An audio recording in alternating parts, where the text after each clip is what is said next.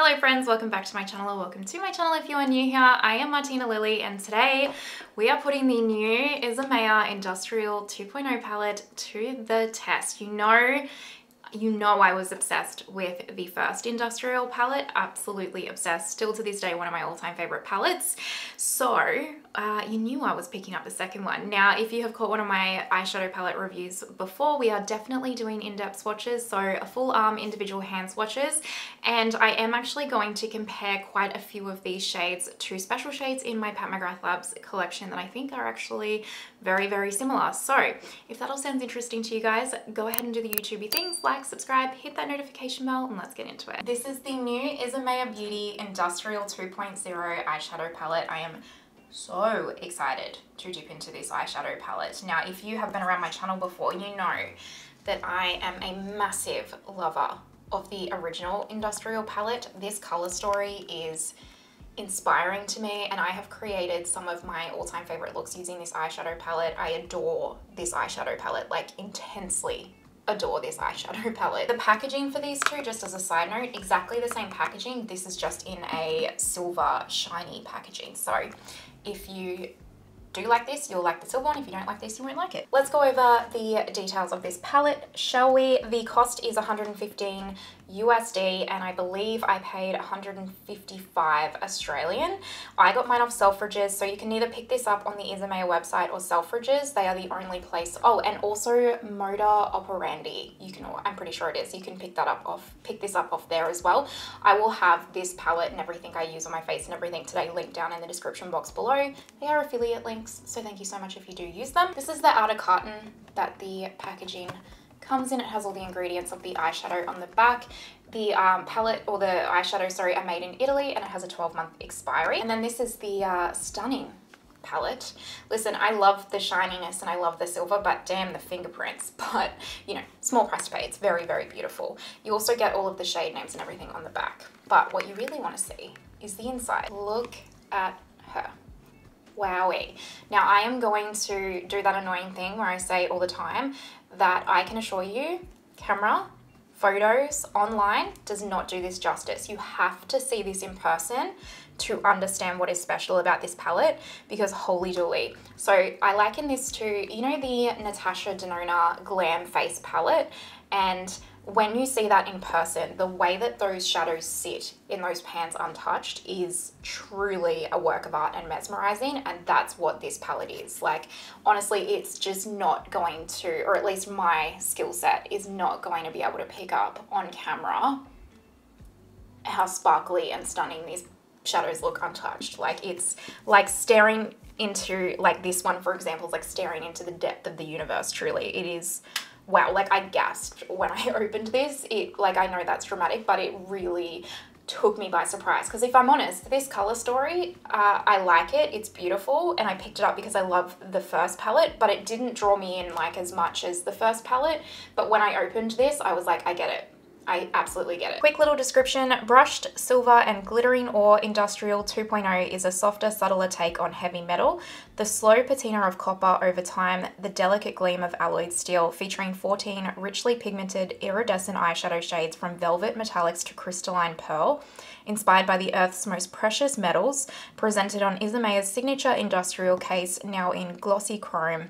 You can apply them with fingers, blend with a brush, apply on eyes or paint on your face, amplify for mesmer mesmeric wet-like shine. The key benefits is extra glossy metallic sheen and shape-shifting effect, mirror-like reflection, and supremely blendable pigments mimic skin's own hydrolipidic film. I don't know if I pronounced that correctly, but that is the description. You know the drill if you have caught any of my eyeshadow palettes reviews before. We're gonna zoom out. I'm gonna do a full arm of swatches. I'm gonna swatch each individual shade on the back of my hand here, and then we will create a look together. I am that excited. I do not have time to do more than one look today though, I'm super sorry, but I will be doing more looks with this palette, don't you worry. So let's get into swatching.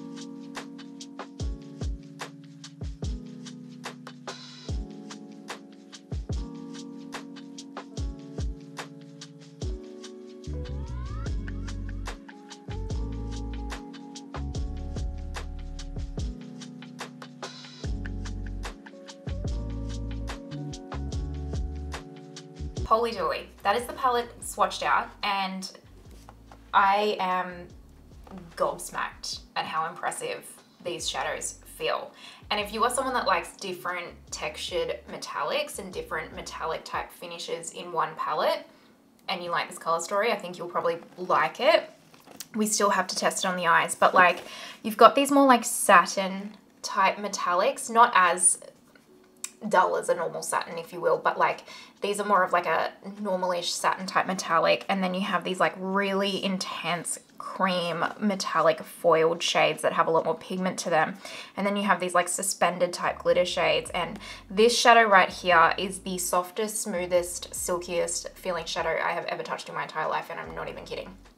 So this is mesmerizing. But as I was swatching this, I was like, ooh, I can see quite a few um, similarities between a few of these shades and my Pat McGrath Labs collection. So I'm going to also add in to this video comparing those shades against the motherships and the shades that I've got in mind. I will also put a side-by-side -side, um, swatch photo of the industrial one point or just the first industrial versus this one, so like swatched out because I know there are some similar shades in these two, but they are actually quite different. This one's definitely a lot more grungy and this one as well has different textures. So same, they're same, same, but different in such interesting ways and textures and shades.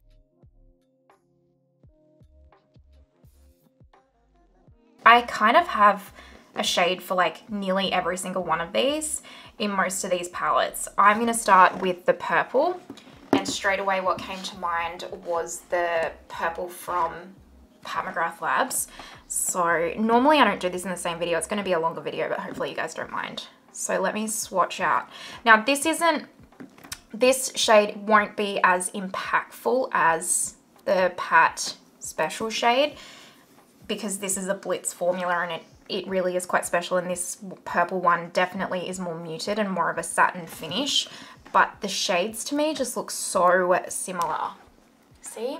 I mean I did such a bad job of swatching that first one I apologize. They just so close right? I mean the pat one is more intense because it's a special shade and it's more of like a softer formula like I said but yeah, the shade just instantly came to mind. This shade right here kind of reminds me of the silver out of Moonlit Seduction. So let's compare them. So this one is from the Isamaya and then this one is from Pat. You can kind of already see the tone differences. So this is Isamaya and then Pat. Yeah, so Pat's is a bit deeper though.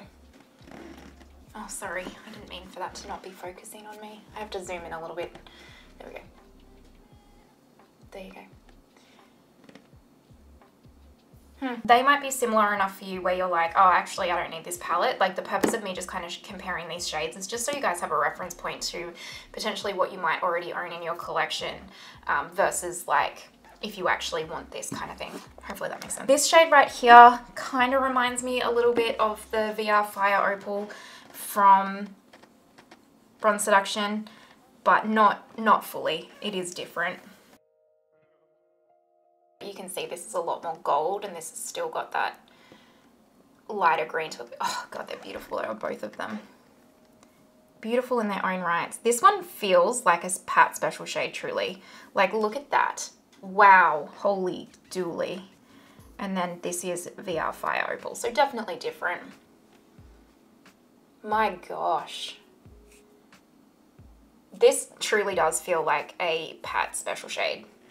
This next shade here reminds me of the kind of bluey purple in Subversive. I'm sorry if the lighting's a little bit too dark. I'm trying to keep it lower so that you can really get the impact of the sparkle. This feels like a Pat special shade too, but like even silkier and creamier.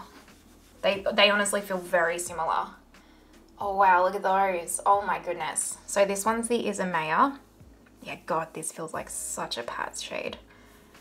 And then this is the Subversive. Subversive definitely has more pigment to it. The Isamaya one is like a suspended glitter version of the Subversive one.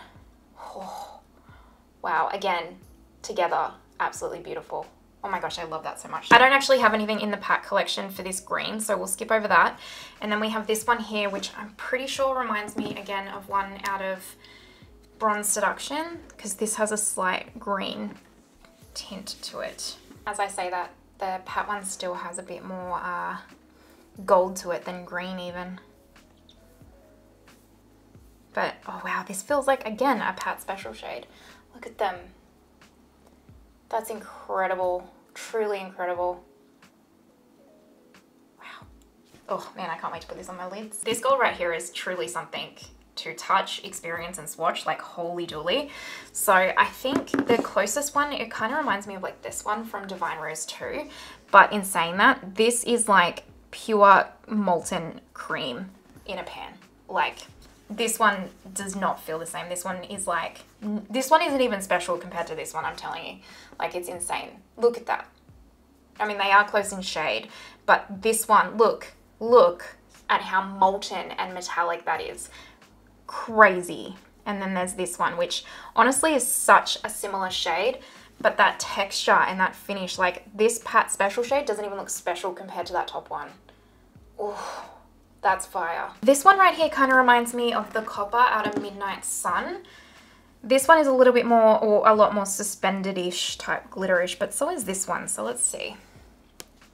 This one also has a little bit more red shift to it. And actually, in saying that, it also reminds me of um, the red special shade from Bronze Seduction as well. So let's swatch both of them. Okay, so this one's Isamaya, this one is the copper from, or the pumpkiny color from Midnight Sun, and this is the red, the lighter red shade from Bronze Seduction. I mean, they look amazing. Let's swatch them. Oh, look at this. This again, seriously guys, I'm not even kidding. I'm not just saying this. If I didn't like it, I'd tell you this feels like a Pat McGrath Lab special shade, like her good quality formula that we've all been missing. That's what these feel like. Wow. Oh, I, you have to see them in person to really experience them. So this is Midnight Sun. And then this is Bronze Seduction.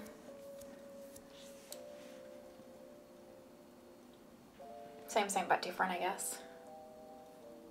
Oh man, I feel like this doesn't look as special on camera as what it looks like in real life. I wish I could like accurately depict it. Maybe it's like there, like it is wow. I'm not going to compare the brown matte because it's a brown matte, but I will tell you that this formula feels pretty much almost the same as the Lisa Eldridge Velvet Matte formula. So if you like that, you'll, you'll like this formula. This one here, I think probably the closest one this reminds me of is actually two.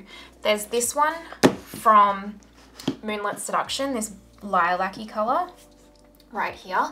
And then there's also Astral Solstice from Midnight Sun and it's also in Divine Rose 1, apologies. So this one's Isamaya, the lilac from Moonlit Seduction and then Astral Solstice. This one I think is probably just a lot more silver than the others. But gosh, if we're going to compare formulas between Astral Solstice, that Isamaya one is probably the closest eyeshadow ever. If anything, I actually think I like the Isamaya one better. I'm not even kidding. But they are such a similar formula. I don't really have anything for these two shades. I mean, they're not a special formula. They're just more of like a satiny metallic, so who cares anyway. This one is, again, quite similar to the copper from Midnight Sun but more red. This one is more like a glitter too. Like it really has some flake to it, which I'm sure you can see. I feel like if you wet your brush though, you could build this up to be quite intense. So they're pretty similar. Again, feels like a Pat special shade, I'm telling you. Lastly, we have this one and I just wish I could I wish you could feel this shadow through the screen because it's insane. It's like, wow. So I want to compare this one. This is in a whole other league on its own, this shadow. Like seriously, the feel of it. But um, to Subliminal, this one. And then also I figured we would do VR Sextasy from Moonlit. Oh wow, look at the three of them together. That is my kind of a shadow. Holy dooly. Okay, this is like makeup corn for me right now, seriously. So this is the Isamaya. Seriously, you need to feel this shadow. It is so soft and silky. Oh my goodness. And then this is the special shade from Subliminal. And then this one is from Moonlit Seduction. It's almost like the two Pat McGrath Labs shadows had a baby with the Isamaya one. Oh wow. Oh my goodness, I love this. I am so excited to try these shadows. These are insane, you guys. Like I said, if I didn't like them or didn't think this, I wouldn't sell you because honestly, she has no idea who I am. I really don't care. Whoa, mind blown. Like, I want to bathe in every single one of these. So let's go ahead now and um, create a look because I, I need to put these on the eyes and test. I am that excited, but also overwhelmed because I have no idea what shades I want to, well, I want to use all of the shades is the issue and how I'm to make that work. Anyway, we'll see how we go. Um, Rare Beauty Eye Primer. The lids are primed. I'll just stick to this palette obviously for a look today, but you can like, if this intimidates you as it's all metallics mostly, you can just dip into other palettes with mattes that you want to use and stuff like that. You don't have to just use this, but I will for today's sake. I think to begin with, what I'm actually to do is pick up a BKA 504 and I'll just dip a little bit into this dark brown, which is like um, this is definitely like a cream to powder Lisa Eldridge Velvet Matte type vibe. It, it reminds me of the dark brown shade actually in um, Cinnabar from Lisa Eldridge. I'm just going to tap this lightly on this outer corner here to add a little bit of depth to begin with. I'll try and remember to link all of my first industrial palette videos below for you as well, or at least the initial review and stuff, so that you can compare them if you haven't seen that before. Um, oh gosh, I love that palette. It's just amazing, truly. It really, really is. So, I didn't pick up the Wildstar collection from Isamaya, by the way, just because the color story wasn't really something I would gravitate towards, but I was disappointed about it too because I genuinely want to collect most of her stuff. It's pretty phenomenal. I'm actually just gonna switch to this What's Up R102, just a slightly bigger, fluffier brush, and I'll start, just wanna lift it a little bit in this outer corner here. Just wiggling. I mean, this is performing impeccably. I feel like you can tell.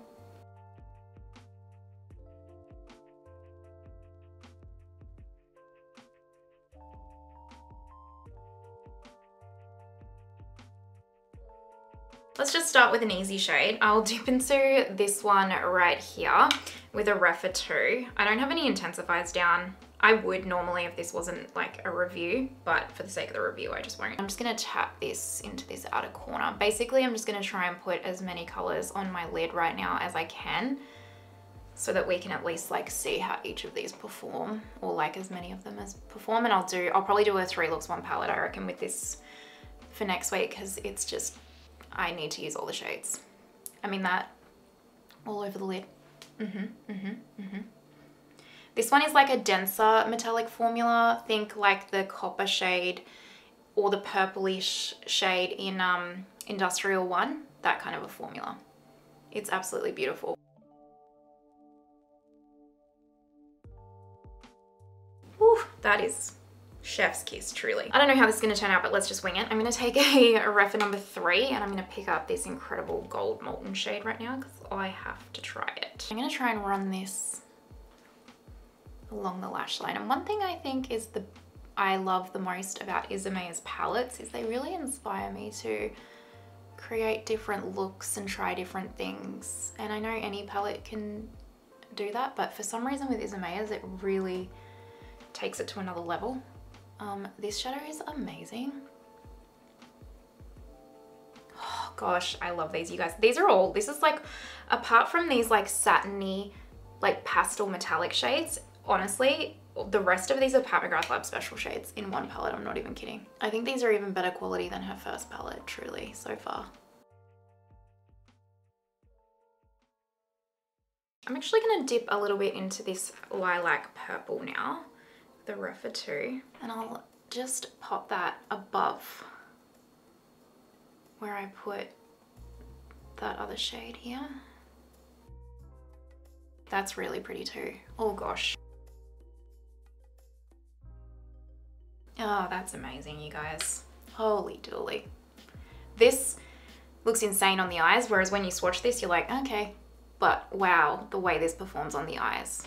Holy. Let's pick up a little bit more of that dark brown velvet matte and just lightly bring that forward here.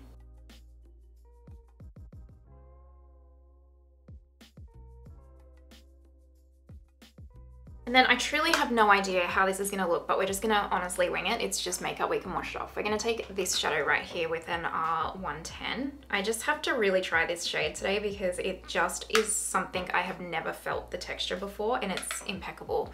I'm just gonna pop that in here and like kind of swoop it up in here.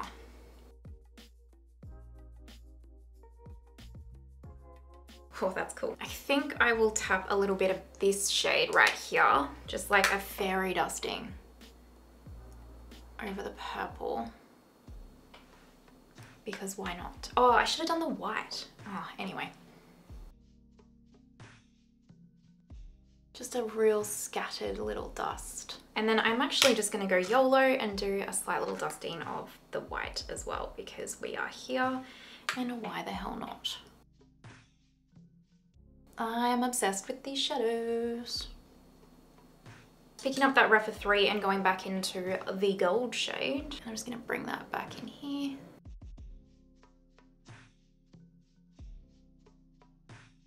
I'm gonna do a speed through of my base makeup now and then we'll come back and finish these eyes up and I'll adjust anything I want to. I just need to see the rest of my makeup on. So let's do that.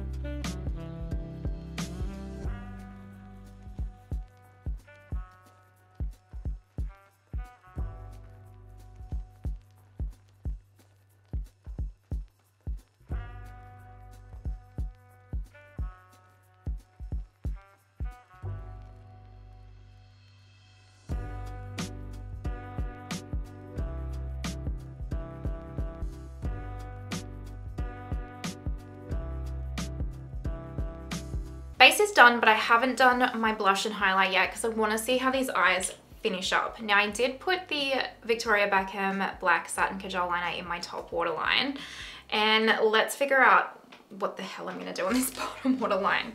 Um, I will take the dark brown just on a little pencil brush and I will just run that close to the lash line here.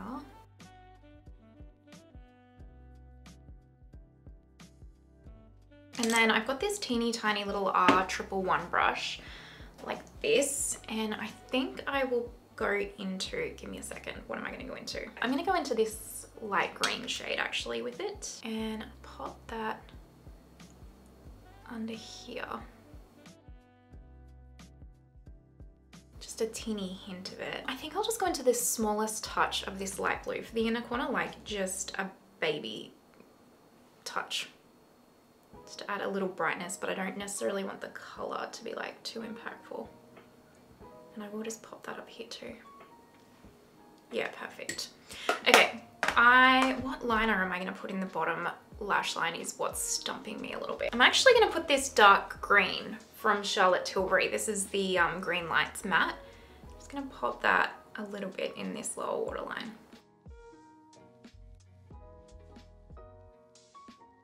Let me pop my Victoria Beckham Lash Mascara on.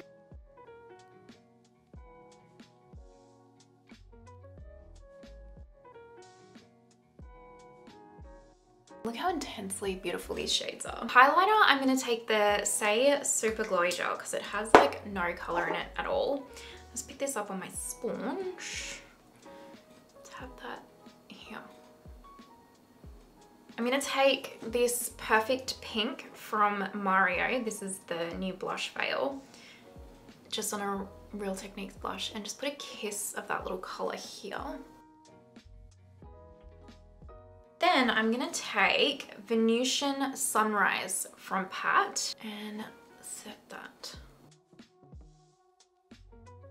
I need setting spray, so I'm gonna take my Charlotte Tilbury Airbrush Flawless.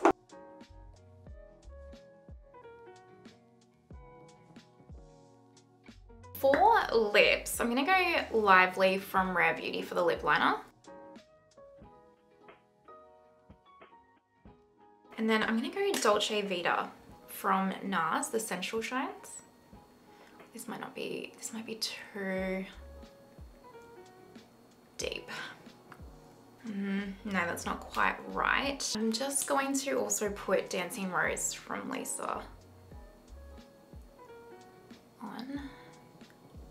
yeah, let me go and figure out hair and everything and then we will zoom out and wrap this up. All right, I think this is the finished look. What do you guys think? I mean, look, is this a look that I would just like put together on the everyday? No, I really did want to showcase as many of the shadows as I could today. Um, but am I actually happy with how this is pulled together? You bet your bottom dollar. Am I going to work like this? You bet your bottom dollar. Uh, this is amazing, you guys. I'm not even kidding. Like if you like the first one, you'll like this one probably a little, maybe not, depending on the color story for you, right? But like formula wise, this is even better than the first industrial palette. So many of these shades feel like Pat McGrath Lab special shades to me. And look, I don't know if that's just my opinion, but they do. They're just insane. They're insane. I cannot wait to do a three looks on palette with this. It's like, I can't wait to use all of these shades. This is so inspiring, so beautiful. Wow, wow, wow, wow. Now everyone's value of a dollar is different. You do as you wish but clearly I'm very impressed and infatuated with it. So, but you know, you do as you wish. All right, let me know your thoughts down below. Have you picked the palette up? Are you gonna think of pick, or are you thinking of picking the palette up? all of that jazz. You know, I want to hear from you down below, pretty please. And uh, if you're watching till this point, you know you're an absolute legend. Thank you so, so much. I truly appreciate it. And I hope you have the most amazing day, wherever you are in the world, and I will see you next time. Bye.